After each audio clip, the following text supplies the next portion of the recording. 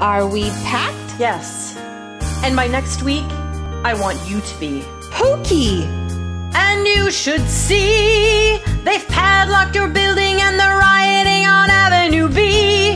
Benny called the cops. That suck! They don't know what they're doing. The cops are sweeping the lot. But no one's leaving. They're just sitting there